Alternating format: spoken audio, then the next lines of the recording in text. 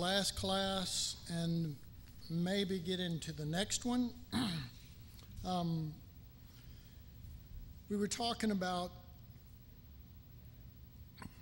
the Garden of Eden representing the original creation of God in the sense of all was new, all was awe inspiring, all was um, ordered. Everything was ordered by God, everything was set in motion by God.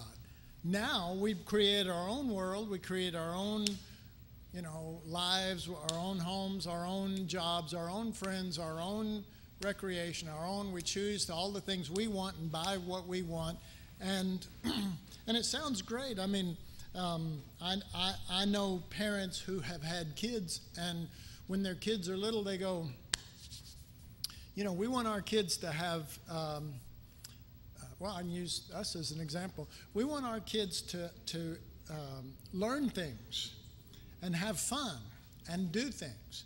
And so um, what we did was we, of course, I've got three girls, so we enroll them in learning piano, and they all took piano.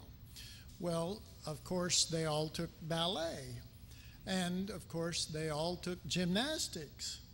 And you know, you start that way, and as you're going, pretty soon there's three of them, and one's got to be here at this time, and then this one over here at this time, and then this and that, and then all of a sudden, and pretty soon, what was meant to be just a fun release for your kids ends up controlling your life. And I mean, it does. It, it dictates when you can go, what you can be involved with. Well, I can't because that's going to overlap on when I have to pick them up and da da da da and all this and on and on and on. And this is just a small little example. Um, the world of our creation and how it ends up controlling us. Whereas um, in using the using the Garden of Eden as an example, God was in control. God set things in order, and we flowed with God. Once man fell, he's outside of that realm, he's outside of that garden. Now he is digging in the dirt, eking out his own life. So, one of the last statements I, I read was uh, in the last class there was all in the Garden of Eden. All was new, alive, ready to be discovered. And, and in the book of Revelation, book of Revelation at the end, it says, Jesus says this of himself Behold, I make all things new. Now, what most Christians get out of that is he makes a whole new creation, uh, like a you know, it's this new realm of same, same stuff, only better. But he said, I make them new, not I'm creating them new. I'm making all things new. so that righteousness, when you discover Christ, becomes new and all comes into it. Um, uh, uh, peace, um, all of the, the subjects, all of the doctrinal, doctrinal, you know, the things that are just doctrinal Folks, this was never meant to be a doctrinal universe. Doctrinal is, uh, well, I, I, say something down here along that line. um, all was new, alive, and then this thought, ready to be discovered. But what was in Adam and Eve was, we're new to this. Everything's new. I mean, you know, does anybody remember when you were a kid and, and um, uh, you would like look at a flower or something and uh, I, I remember we were studying birds at school, and I found this dead bird, uh, and I put it in a box, and the next day I brought it to school and asked the teacher about it. We were studying birds, and she said, I've never seen this bird before. Let's look it up. And we personally got in the book together and looked it up, and there was a cedar waxwing, and it was all excited. And I went, a cedar waxwing, never even heard of it. I don't know anybody's even even seen them or they're beautiful. They are beautiful birds, last week in our backyard there were 10 of them in our tree and i mean it's there anyway i remember as a little boy i remember seeing a bumblebee. I mean the full big bumblebee you know the one that shouldn't be able to fly. They're not aerodynamic and they weigh more than they should be able to, to lift and therefore they sort of you know, go like this and everything. And I didn't know what it was. All I saw was that the tail, the back of it looked fluffy and fuzzy and with yellow lines and black lines. And I remember going, "Oh my God, what is it?" And I caught it and it stung the fool out of me. And I went, "You don't catch those things, okay?" but I remember, I remember, I literally remember in my mind thinking God, what is that? Look how cool that thing looks and everything. And just just being into, well, you know, you know, except we become as little children, you know, you won't really comprehend these things. There has to be a desire to discover instead of an, uh, what did I say? Um, soon the all began to fade. Life became flat, sterile, controllable, understood. Those last two are really important. Once we start controlling everything, then we it's out of it's really we've lost any thought of going beyond what we already control. Once we think we've understood something, we're not open anymore. Scott? Yeah, I was just thinking about how, you know, we can approach the scriptures. You're talking about losing your awe of the scriptures. We can approach, the scriptures and, and uh, look at something go, well, I already know that. You know, and, you know, there's just something wrong with- if, if we look at any, any part of the Bible and, we, and, and that's our mentality because it was like, you know, the whole idea of, of all things new. You know, I mean, everything, every time we go into the, into the Word, we should, we should go with an expectation that the Lord is gonna, gonna sh- reveal Himself in some new way that we've never seen Him before. Amen. Amen. We, if you didn't, are, are you recording that somewhere? Yeah, Okay, good for you. um, you know, just along the lines of what Scott's saying, there is this reality that when you know, if you, if you, let's say that you're out exploring or you go to, uh, I remember when I went to Stone Mountain in Georgia. Um, and you go up on the mountain and you're overlooking, I think, three different states. And it really is cool. I mean, you can really see, you see the different states. You see this big thing. and there's, there's an automatic thing that kicks in to every human when they get to a height where they can begin to overlook things the person automatically wants to get into a restful place, sit down, or go, or, or, you know, and just take it in and just rest and just meditate and just. and they, they begin to whether you know whether it's a river down there they're just you know they just want to take it in you know you don't just go oh that's cool and go you know what I mean something in you wants to actually take in the vista in a restful manner without all of the feverish, you know, sort of, you know, well, I got to know this for school or I've got to, you know, that sort of thing. and, um, um, you know, it causes reflection. What does? Being up above things and viewing them from higher than our life in a normal way it just starts bringing out reflection in us and, and, it, and it invites you to sit down and rest and, and to just enjoy enjoy that's actually a part of it well that's a part of the awe is the enjoying yes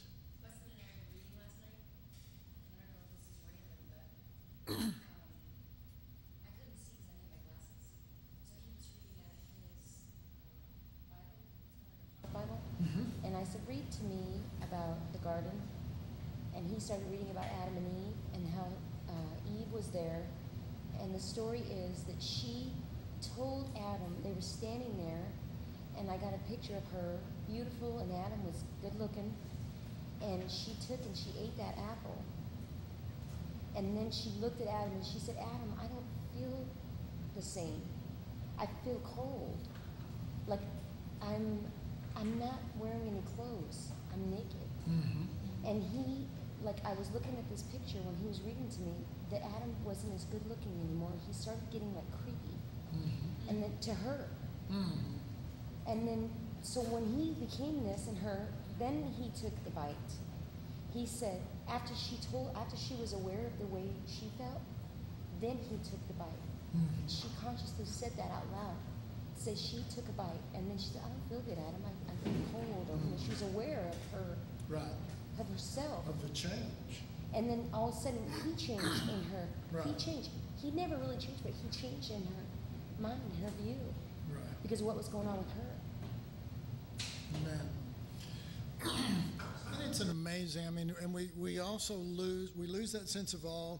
We lose that that desire for discovery. I see this in married couples all the time, and and you know I still do counseling with couples, and I hear a real common thing, and that is, you know, uh, whether they put it in this words or not, they have lost uh, the sense of trying to discover something new because they think they know everything because they've been married for X amount of, of years or whatever. And so, and um, my opinion here,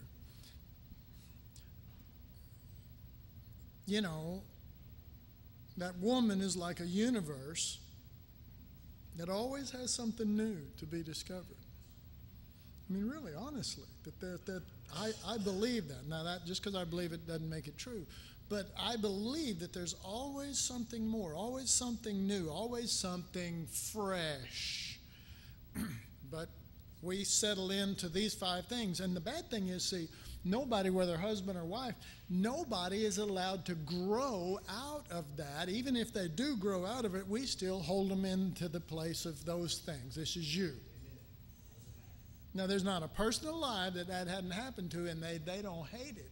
That, that, that many people still look at them the way they used to be when they're not that way anymore. And they're, they're accused, can I use that word, accused of being that, that way, and they're not. And so, so even if they don't have all of those things at that moment, and I believe they do, life will bring new discoveries about. And so I'm just trying to say this pattern that's true here is here and here. It's in sociology, it's in quantum physics, it's in the things of God because that's the original source. It's in the universe so that there's always something new to discover. Always something new to discover. God made it that way. It's endless, but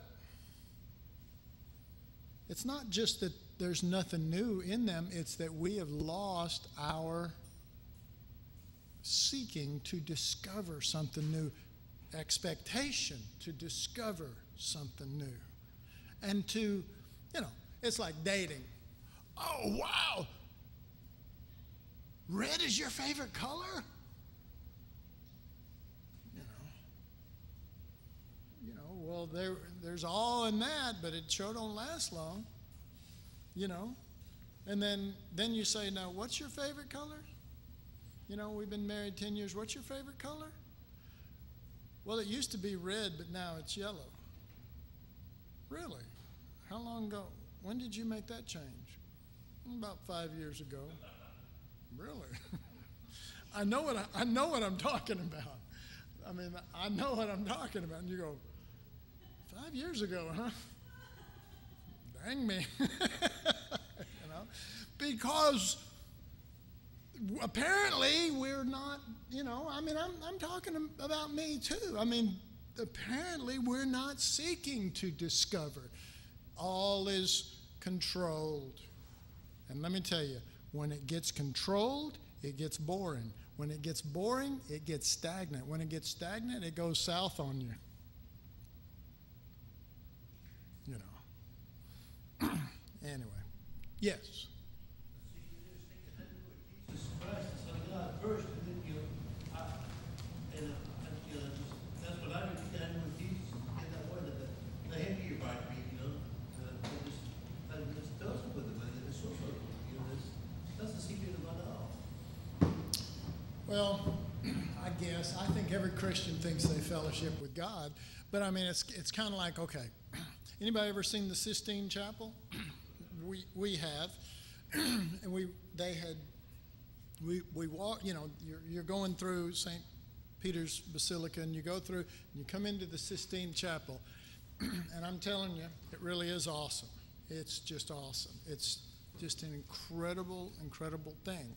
Um, and so you say, now, you know, I can see me looking up and going, now why does this look the way that it does? Because the church paid him.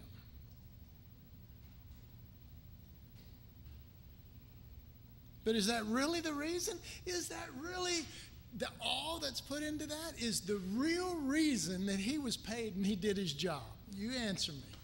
No. No. There's more than just doing the job in that. And that's goes contrary to the American way. Didn't used to, they used to be different. But the American way now is just do the job at, with whatever cheap materials you can do to get it done, and bam, there it is, be happy with it. You've worked in construction, isn't that true? Many cases, and you, you, you go the cheapest way, you find the cheapest thing, and even if it's a shoddy job, you know, tough luck, you know, uh, that's just the way it, it works. there you go, duct tape and, and, and baling wire. Sorry, my old. um, but but okay, a soldier, a soldier that dies, a soldier that goes into battle and he gives his life. Why does he do that? Well, he does he does that because he signed a two-year contract to be in the military. No, now some maybe some of them, but there are some soldiers that believe in what they're doing and the awe of the thing. And I know them. I was in the army one of the only people in this church that was in the military. And I know, I know, I was a sergeant in the Army. I was in the Army during the Vietnam War. I know. And there are there these these people we call them lifers. I mean, this is it. This is they have found their home. This is it, and they are gung ho, and that that this is what, and it has nothing to do with how many years they signed a contract for or anything else. They are all in. So I'm just I'm trying to give you some different examples where awe has, even though that's just a physical example, it's not the real. But we talk about spiritual things and we all say, Well, I know what you're talking about. So I'm using some examples that I'm trying to shake and rattle the box that our little brains are in to realize that there are, you know, that, that Michelangelo worked hard and he laid on his back and he did this and he breathed something into that. You know, uh, you know, God made man and he created him in his own image and he, and he makes him and he, he, he finishes this work and, you know, and he goes, well, get up. No. He breathes into him the breath of life. And something comes alive in him. I think the breath of life is missing in many people, honestly. And how do you put that? I can't put that in somebody. The, my sharing can't do that. My sharing, my sharing can really touch somebody on a real deep, deep level. It can. It can touch someone on a core level if they already have that questioning or that hungering or that or that sense of you know i am sick of the way things are going. My life sucks or whatever you know what i mean? I'm sick of this. Then something rings in your being.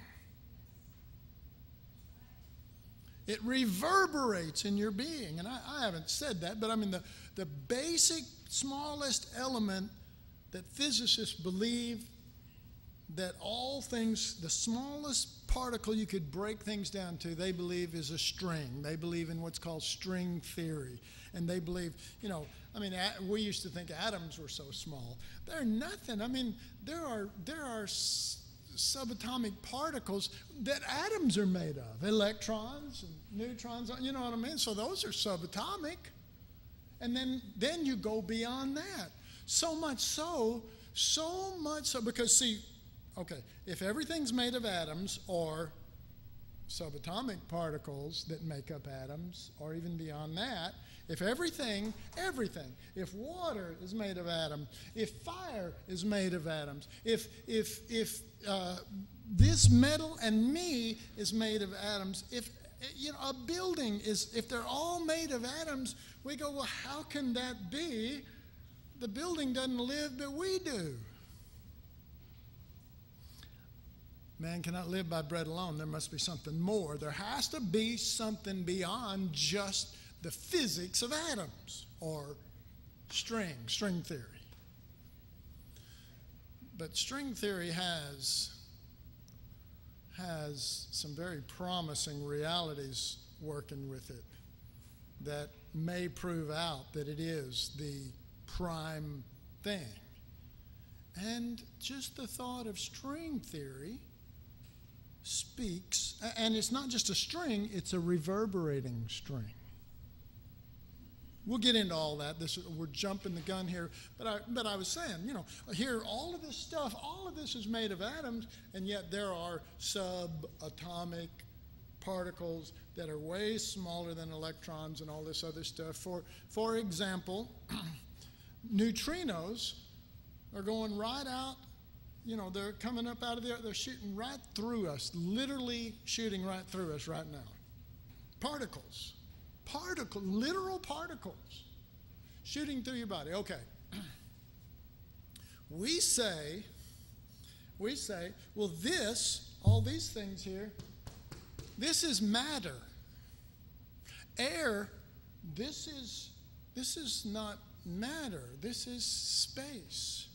And and water, that's that's matter, but you know, but you can't shove your hand through you but you can through water. But no, it's all atoms and smaller, but it's all particles, every bit of it, except some things are denser than others. Okay?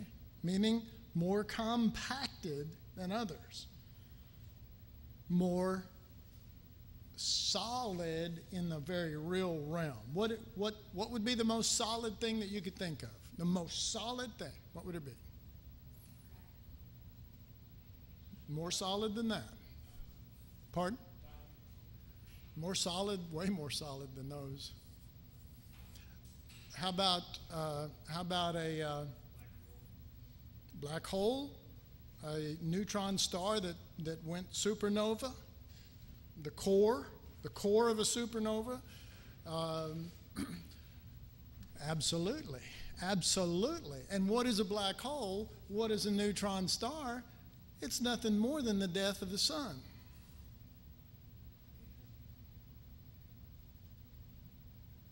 S U N, but S O N.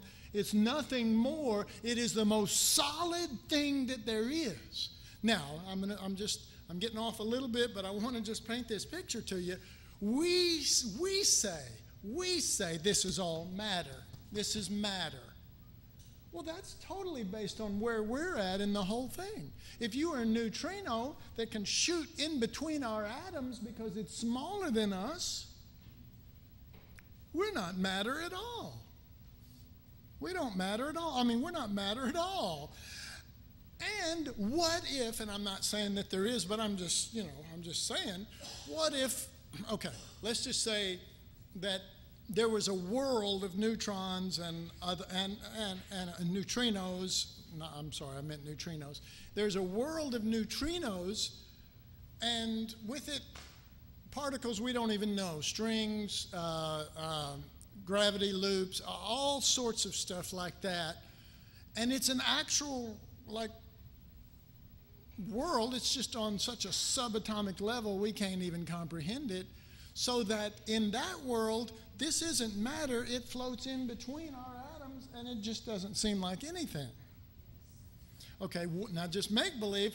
What if there was a bigger world and we were the subatomic particle types to that. And we're walking through beings that are so big we don't even know they're there. And I'm just trying to I'm just trying to make you think because if it's true on that level, it could be true on this level. But our world to us is everything because we're everything. See? And we're what matters. And therefore, this is matter when I'm telling you it's all made up of atoms and, and air and water and all of this. It just depends on how solid the core is. And with a black hole, not even light escapes it. Sucks it right in, and it sucks it into the core and keeps compacting it and compacting it. It's incredible. Yes. I was just gonna say, as far as we're talking about scale and size and universal stuff, just a little side note, the, uh, the the mapping of the universe, Mm-hmm. like the way they map the complexity and the density versus the sparsity of the universe and all of it, if you put it right next to, it looks shockingly similar to a brainstem. To a brain cell. Well, there you have it. um, but, of course it would. But why? Why? Oh, because there are space realities beyond what we know. No, no. One reason, one reason alone. All of it declares the truth of God in His reality, not that the aliens exist or that there are tiny spaceships flying through your body right now. You, you, you understand what I'm saying? I mean, it's important to understand that all of this, if the Bible's true and if Jesus is true, all of that exists simply to declare the glory of God. And if, if it does, then the pattern is going to be seen over and over and over again, just like what he described, or the pattern will be seen in sociology as well as quantum mechanics, as well as uh, uh, mechanical engineering, as well as chemistry, which all of these things do, I'm telling you. There are certain realities that, that hold true. All right, I need to try to finish this because I am not going to even finish this if I'm not careful. Um, we are so busy with making sure that the wood from violins is the best and that strings are set in perfect tune with an artificial tuner so that it'll ring at A440, isn't that it? And so, and, and so I'm basically I'm going to try to describe something to you that I saw here. I saw a universe where the craftsman had taken over. And the violin was the object upon which they worked. And they were master craftsmen, and there was one after another after another. And their goal was to get just the right kind of wood.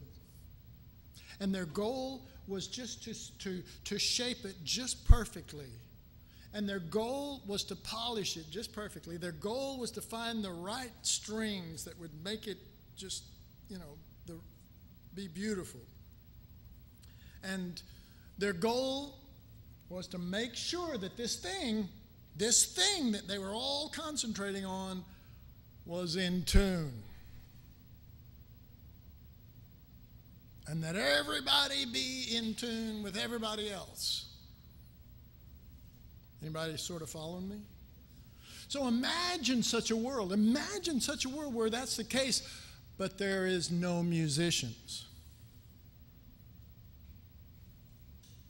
So in this world, they're all working hard and they're all producing these incredible violins and they're all they have shows and they all, you know, have booths and they're showing off their violin and everything. And all of a sudden one day something insane walks in. A musician picks one up and he's an incredible musician and he just starts playing and they're all going, "What is that? What?" Did you see the all reaction. the all react. What is? And he's and they're going, what's he, what's he doing to that? You know, that's a whole nother angle of this thing we never thought of. and they're just blown away by, by this one who took it and did something with it that wasn't actually practical in the, in the realm of what they called practical. It wasn't pragmatic. And they just, you know, they didn't know what to do. Uh, let's, let's see what I wrote here. Uh, but, but when someone who has ability to play picks it up and plays, we see that there is another touch, that's in parentheses, another touch beyond what we perceived. And I don't know if you've ever heard somebody play the violin where it literally plays the heartstrings of your own heart, but I have. And I'm telling you, you just go, oh my God. I mean, it just rings in your, it's like string theory. It just rings, it reverberates in your being. I mean, you just want to cry or laugh or, or something. It just deeply, deeply affects you. And, and the person is just, there is more than playing going on. They are putting their heart and soul, their being into it, and you feel it, and it's, it's just enveloping you. And so, uh, th- I'll read that again. But when someone who has the ability to play picks it up and plays, we see that there is another touch beyond what we perceived. The craftsmen who cannot play are increased, while the ma- maestros die out. And my God, that is what's happening in the church. The craftsmen who keep everything in tune and polished are in control. And the maestros are dying out, and the, the ring, the awe is disappearing.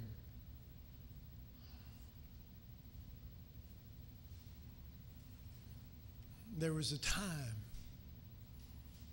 when the maestros were in charge. There was a time.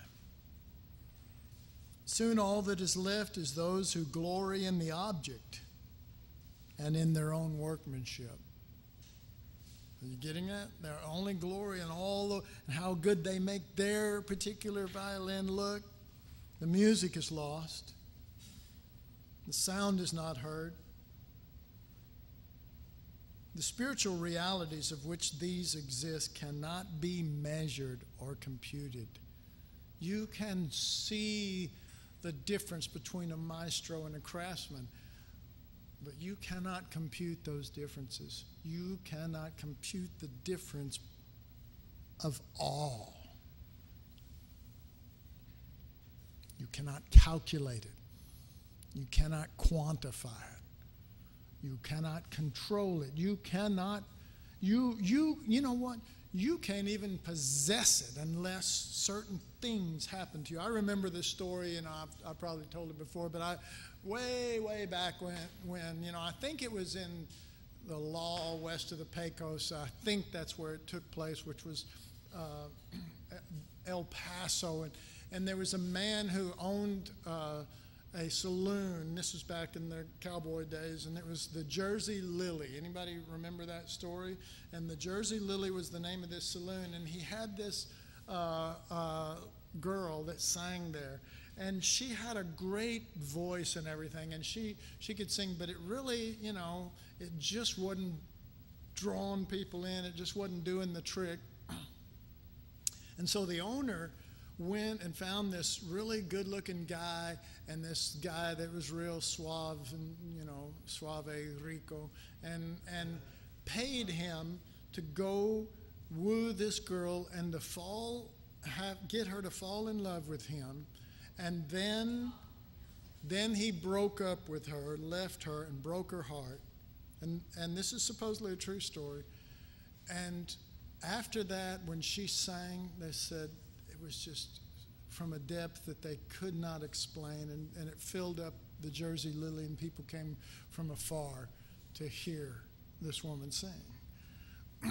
well, I know a little bit about that. It's called the blues. And, you know, I mean, I like that kind of music, but I know where it comes from. And, and they say white men can't sing the blues. I'm sorry. I can sing the blues, and I can sing it like the best of them because I know what pain is and I know what hurt is and I know these kind of things. But I, you know, I mean, there's people way greater than me, and you know, a lot of a lot of the good blues singers that were white came out of Oak Cliff, Stevie Ray Vaughan and whatever, because it's tough. but but the the point I'm trying to make is not me or blues or this or that. The point I'm trying to make is a person can have their own talents they can have their own abilities. They can have their own want to.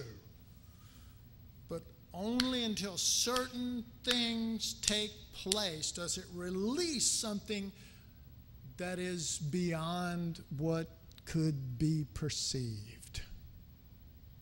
It is deep, it is on a quantum level, but it has effects on an astrophysics level.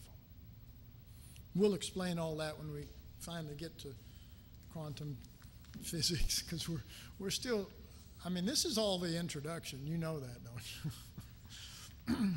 all right, let me see if I can finish this up here. We're getting real close. We, speaking of the craftsmen who build the violins, we take great pride of achievement of measuring and computing the shadow, speaking of quantum physics or any kind of physics. We are, those are only a shadow of the true. We don't learn the true from these things. We're too busy studying the shadow. We don't get Jesus out of it. We don't get the heart of the truth. We don't get the core. We don't get the essence. We don't get the all we get the calculations, we get the doctrines, we get the measurements, we get the computer to spit out something that makes sense so that we feel comfortable and controlled, sterile, flat, understood. The only sound we draw from them is to make sure all is in tune. The craftsman. The only sound is to make sure you pluck those strings. You're not in tune. I'm in tune. You're not in tune. You know, I have I have gotten here late, picked up a guitar to have to play lead, and the guitar was out of tune and couldn't stop to do that. And the good news about the kind of player I am is you, and not all guitar players learn this, but particularly in blues you do, you bend strings. And so I could play in tune by taking what was out of tune and bending it to the right note. You know? And I've done it more times than I'd like to admit. you know, it's, it's not necessarily a compliment, but it's, it, it helps us to see a principle, and that is just being in tune is not enough. What if it wasn't in tune, but it was bent to tune, and there was a great release of the Lord even in that worship service because of something higher than being in tune? You're, are you following me? There, there are much more important things, and we want to get to the core of these things. Our, we're, we're not here just to study. We're not here just to, just to, you know, casually carry on. We want the Lord, and we want Him in a real way on a level that will change us from within. And if we're not being changed, we're not satisfied. Problem is, many after a period of time, when they've tried to change and don't change, get satisfied, get complacent, and sit back, and they lose the hunger, they lose the awe, they lose the desire for discovery.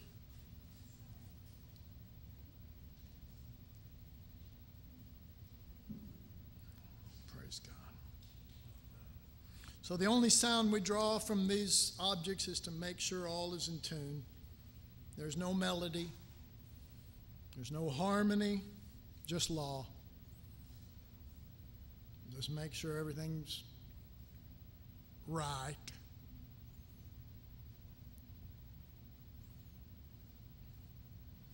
Sound that does not wor- work toward keeping everything in tune is seen as being not practical. The purpose of sound is to make sure we're all in tune. Why, if, we, if, if it wasn't for sound, we wouldn't know where we stand in relation to one another. But thank God for sound. Where's harmony in that? No, we don't need harmony for tuning. Some of you who are musicians really know what I'm talking about. But I mean, you know, where's melody? You know, you know, the melody is this: ding, ding, ding, ding, ding, ding, ding, ding, ding, ding. You know, that's that's our melody. That's lovely to the sound of us, the ears of us craftsmen. The, the maestro says, those are tuning notes. There is nothing of life being drawn out of that instrument. Yeah, yeah, no, no, you're wrong, dude. This is all very practical. You're just talking about trying to touch our heartstrings. We're keeping everything ordered.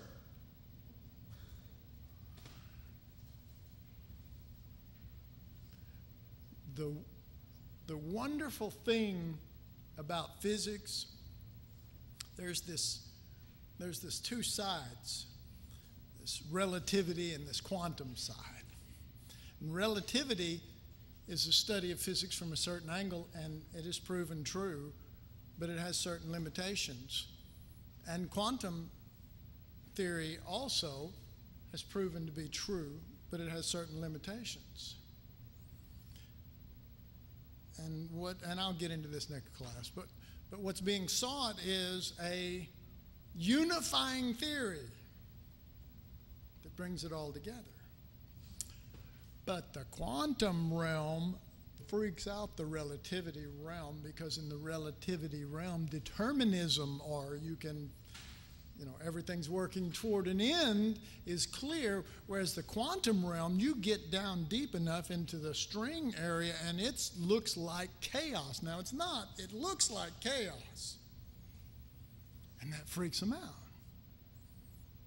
No, no, everything must be ordered, everything must be clear. We've got we can't have this. Well, it you may not can't have it, but it is. So I seclude myself into a realm of craftsmen in, into little narrow spaces. And I don't open myself. I, I, I live in my little relativity world. I live in my little craftsman world, and I don't open myself to greater realities that may mess with my area because I want everything controlled and I want I want everything to work out just right. Let me try to finish this. I'm real close here. Sound that does not work toward keeping everything in tune is seen as not practical, ethereal, and purposeless. And let me tell you, until you get down on a quantum level with God and see the principles, it's going to seem ethereal. It's going to seem like, well, what are we just talking in the air here? What is this work? Does this go anywhere? Yeah. It goes to the heart of everything that exists. Can I get amen on that? Quantum, the, the subatomic particles, everything's made out of it, so we're at least getting in the right direction. I'll explain that more as we go too. but the strings of existence play the song of all life. Nothing, whether practical or not, exists without the tune, without strings, without string theory. And I'm just going to read a couple of paragraphs and try to get through this. This is just a little introduction on string theory. We're not anywhere near this, but since we're talking about The very universe hums in time to God's rhythms, and yet the materials of which they form become the objects because strings make up the object. So we call it a microphone, and we call it a book, and we call it, but it's all made out of the same substance. And that's, you know, these strings cannot be seen. The atom could not be seen, but man harnessed it as a weapon. You know, atom, atom, atom, atom. When you crash them together, it brings destruction.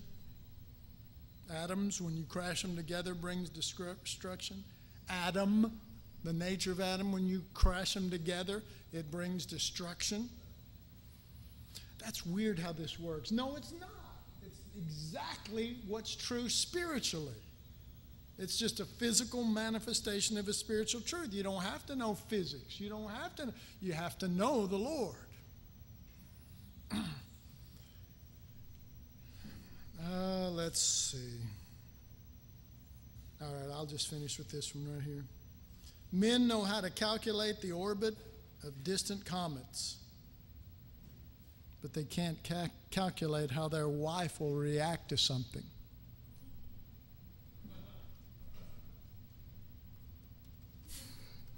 Scott's laughing. I wonder why.